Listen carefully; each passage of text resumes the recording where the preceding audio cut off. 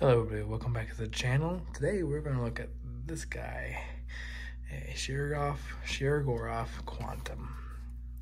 But first, please subscribe, please like the, the uh, video, please follow the Instagram here and like the Facebook page. And let's go ahead and get to into some size comparisons. It's going to be a little bit different because I'm going to actually show another Shirogorov neon zero that way you can kind of get a good size comparison between the two. Here we go. As you can tell this is noticeably larger.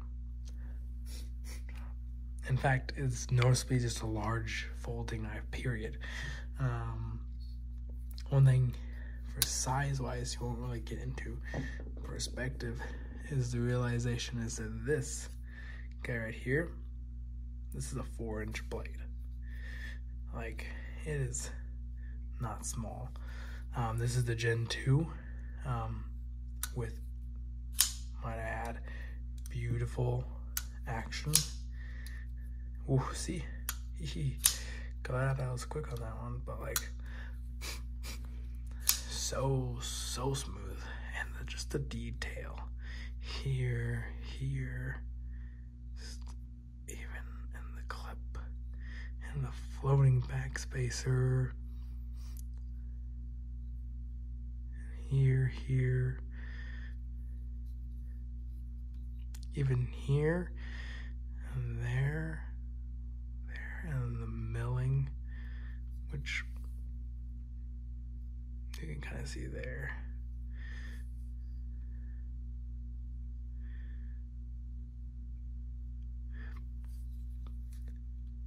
And even the. I mean, it's just insane. One thing you might not have seen is this right here. So you see how the, the blade right there locks in. Yeah, that's that's real. That's really nice. One thing to note is this. So obviously you know like the how the bearings are. So this is a multi right there, multi-row bearing system. Um, well, these are pretty well shut in there. There's not much room for other debris to get in there.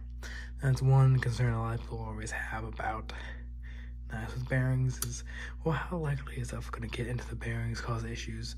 One thing I love that they do is they kind of encase it. So it's very unlikely for something to actually get in there. but let's go ahead and get into some size comparison so you can kind of understand size-wise. XM 18 three and a half inch. Yep, let's line those blades up properly. Noticeably larger, but smaller handle. I love that one thing about Shirogorov is their handle to blade ratio is always on point. Let's go ahead and get to this guy right here. Again, noticeably larger, noticeably larger. I'm even putting the other knife down below to make it look larger because we are filming at a slight angle here. Um, 940 again noticeably larger and SNG three and a half inch again noticeably larger. That's kind of the theme is this guy is larger than you might realize. Um, shockingly actually. Um, but it's a pretty reasonable sized blade thickness wise. So it's XM18. It is thinner. Shaman. It is thinner. SNG. Thinner. 940. Mm, ah, this is close right here They're pretty close to the same. One thing about this is from here it tapers. So it gets to a very, very fine edge. You can kind of see how fine that is. Same thing here, just it it tapers and then tapers this way. It's it's a it's a slicer. Um, that's for sure. And there's no question there. So it is thinner. It's, the handle's also thinner, and so is the blade thinner than the Gen 1. So it saves on weight. Um, obviously, I showed you earlier that it has some milling, some aggressive milling. Let's see if I can kind of get in there with the flashlight. There we go. You see that?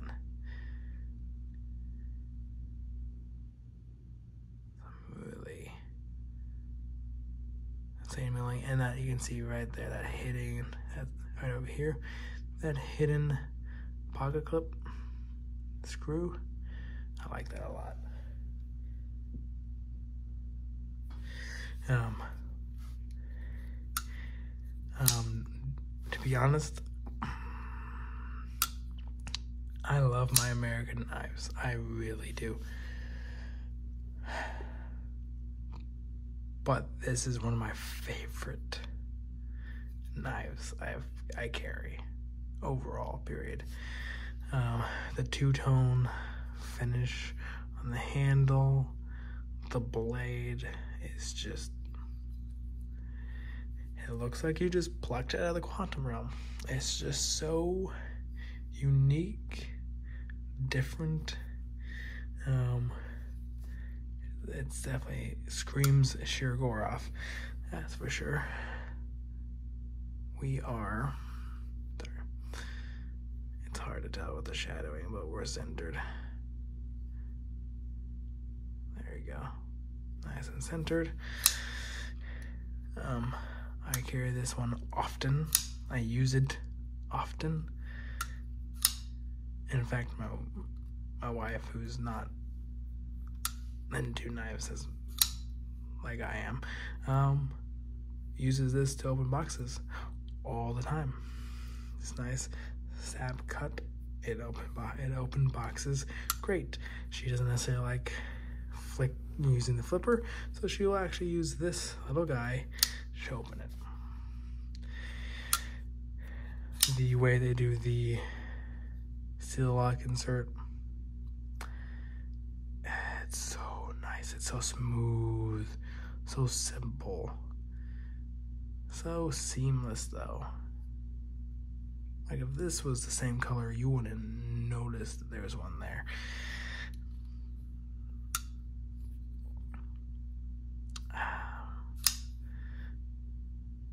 This is getting contact about, I don't know, what is that?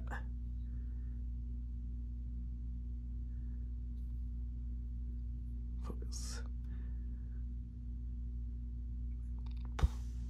Mm, 10, uh, 15, 20%, maybe, but no play play. I'll even do this for you.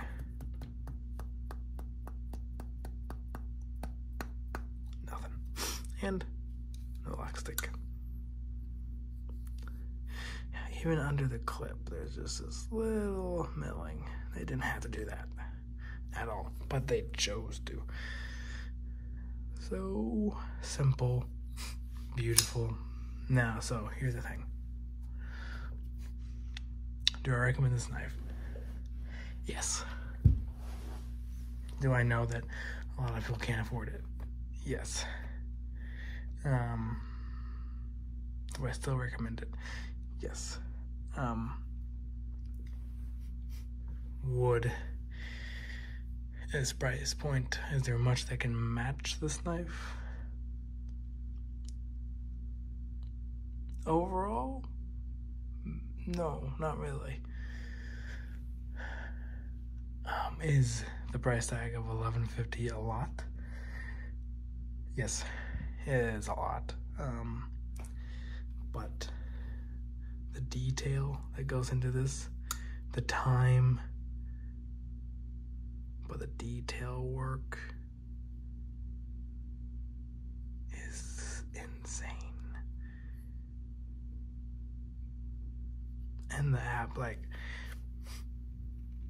just how you can tell that Shirogov takes his time with every single knife. They take their time to absolutely perfect every single one. Is one of the reasons why they're so high in price tag. Because not only are you getting M390 and titanium, which are expensive, not necessarily the steel, but the titanium obviously is expensive. You get premium steel on material. But not just that, but you get premium time, premium detail, um, and premium quality control. With a premium action, with a premium detent, premium fall shut action, um, premium finish. When you're talking about high-end knives, and you wonder what you get, this is some of the best overall finish work you're gonna get, period. No matter who or what brand or who you're um, looking at or who you have um, who you have uh,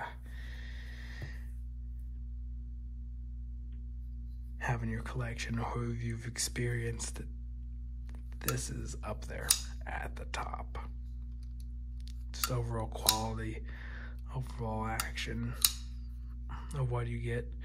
Um,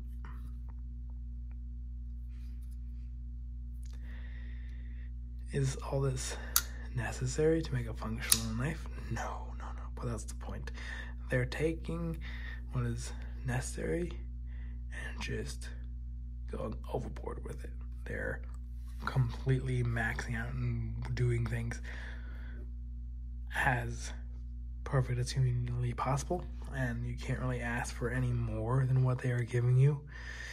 Um, you can ask for a lower price tag, but with a lower price tag will come with less finish work, less detailed work. Something's missing, or something's just you know not there, or, or um, not nearly as good action, not nearly as fine tuned. Um, I'm not even going to talk about the pivot screws because if you really want to take it apart and you don't want to buy a special tool for it, you can a flathead. Whatever. That's up to you. Um,